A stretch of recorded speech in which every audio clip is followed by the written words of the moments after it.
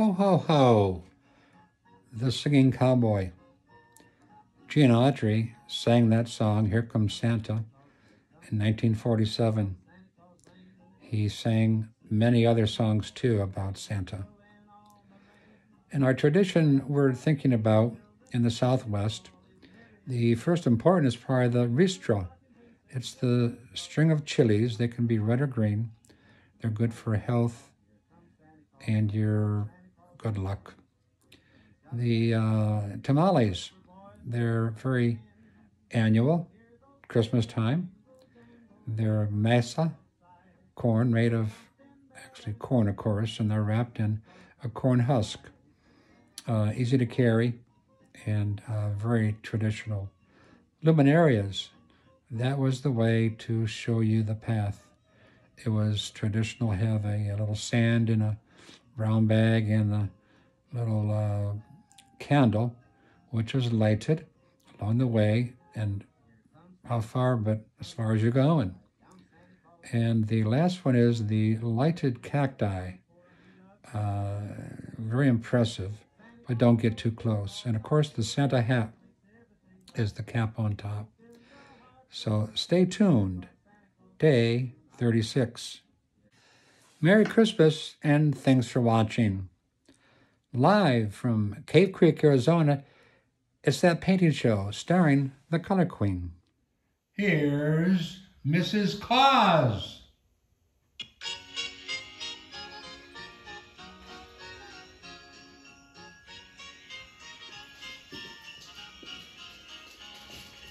Hey everybody, I'm Beth Zink, alias uh, Mrs. Claus. Welcome to see you all. I'm so happy we're back to our videos. And uh, we're looking forward to doing lots more for you, but this is a great return during the holidays. Tis the season. Before we start with our snow scene and talking about all our other items that we have to share, Dr. John, Captain John, Santa John, who is today's lucky duck? Mrs. Santa Claus, the lucky duck, is Ryan and Tony. Ryan, Here, mail. Ryan and Tony. Oh, and thanks for the candy cane. Great. Ryan and Tony. Ryan and Tony are artist friends of ours who uh, were here along with Karen and Tom and Suzanne uh, for Hidden in the Hills, our two weekend annual studio tour event uh, the last few weeks. And they particularly wanted to encourage Captain John to get back on the videos. So here's to you, Ryan and Tony, for inspiring the captain to uh, move on. And Well, thank you on. very much. I'm on the way. You are. Rock and roll. Let's go. All right. Tis the season. Tis the season of giving. Uh, and I want to say that John and I have decided we will donate 5% of all of our December sales uh, to our local charity, a favorite of ours, the Foothills Food Bank. So anything you purchase from us online or in person, from now until the end of December, we're going to donate to Foothills Food Bank. A lot of people in need. We're very fortunate. Hurrah. Great call. So, Okay. I was asked about painting snow. And gosh, I don't paint a lot of snow, but I know how to do it. The trick is to make everything look really gray, really off-white, really kind of bluish. And I think you ought to limit your palette when you're painting any, any snowscape or snow scene. What I think you should use for the background colors, whatever, is white, mostly white. Of course, whenever you want to paint light colors, you always start with white, and then just add what I call, not a technical term, a titch of the other color. So here I have my palette with white, and I've already done that side with Payne's Gray. This is what you get when you add Payne's Gray to white.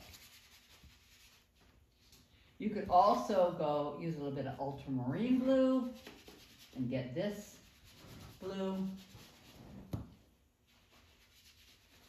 The more white you add, the lighter it gets.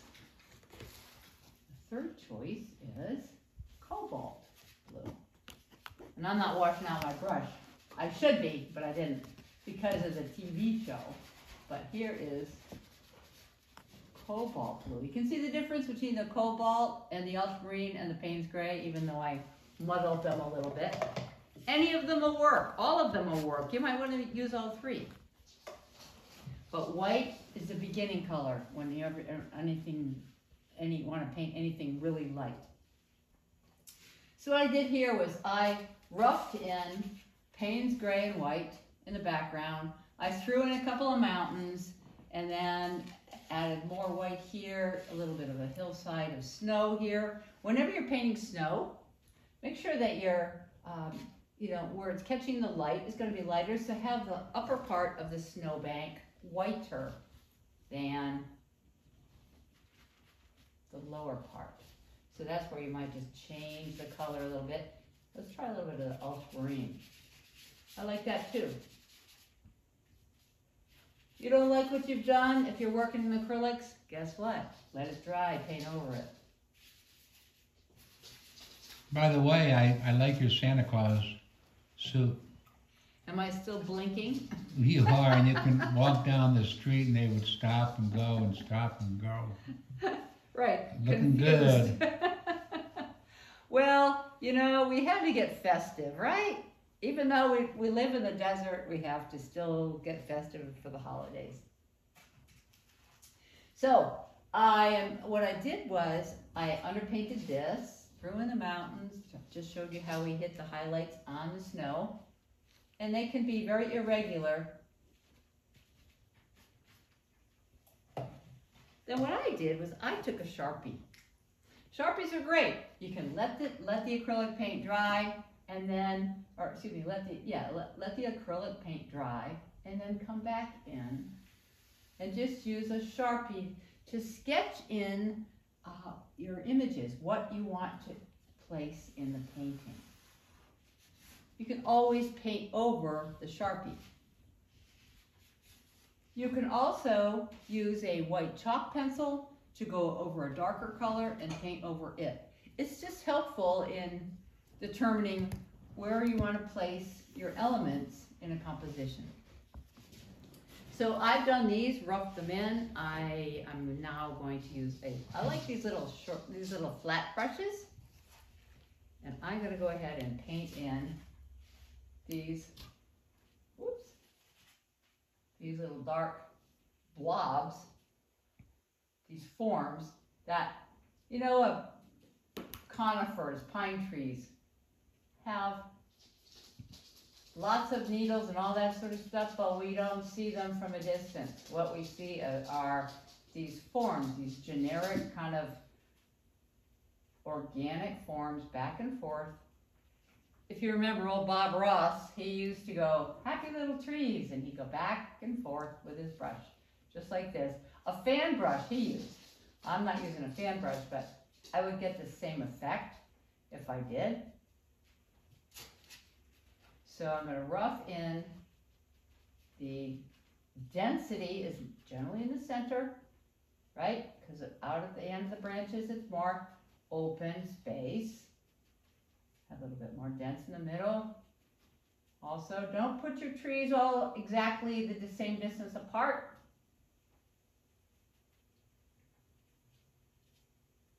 Put some closer together than others. Vary your sizes and your shapes in a painting for interesting composition. That's all I can say. It's just, it's a real simple way to make sure that you're going to turn out a great painting. Oh, looks great. Not that this is going to be great, sakes. but I'm just saying, here we are, even down in here, more trees, more little trees, happy little trees, boom, boom, boom, boom, and even some shrubs. You could throw in a little bit of shrubbery down in here. This could make a great Christmas card, and it's not hard. It's just, it's two colors.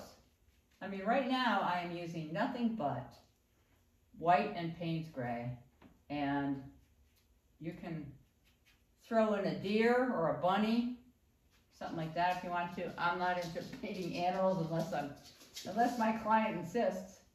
But I think, uh, you know, you can create a more interesting composition, adding different elements. What I'm doing is I'm adding some balance by putting some heavier, and you can see I'm, I'm painting very quickly and loosely. I'll go back. I'll go back and add more detail later. But a lot of times it's fun just to rough in the drawing of a composition. Just kind of want to see where it's going. Look at it a little bit later and go, nah, I don't like that. Fine. Let it dry, paint over it.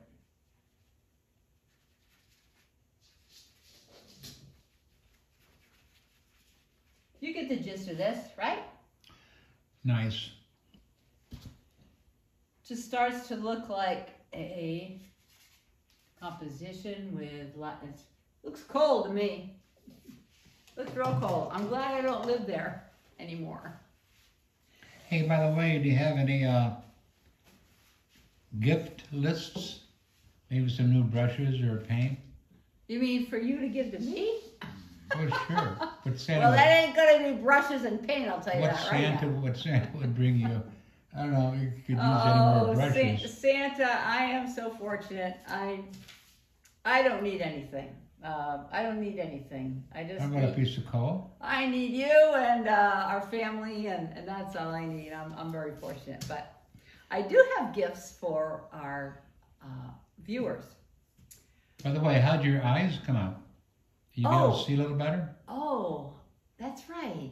You know, I did. I had, uh, I never had vision correction in my life until a year or so ago, and all of a sudden I got these um, cataracts were on the fast track. So I had both my eyes, both my eyes replaced. I had my eyes replaced. I had my cataracts removed uh, by laser, and now I can see like an eagle. It's really cool. Plus, I think I can paint better. So I'm sorry if you bought a painting before that, but just kidding. Anyway, um, we have some pearls wisdom, and they are from Winston Churchill. You know, he, Winston Churchill was an oil painter, and that brought him great joy and probably a lot of relief in the middle of his uh, uh, stressful life. And he said, When I die and go to heaven, I want to spend the first million years painting so I can get to the bottom of the subject. Pretty wild, huh? Yahoo. Hey, thanks for joining us. We're glad to be back and um, cheers.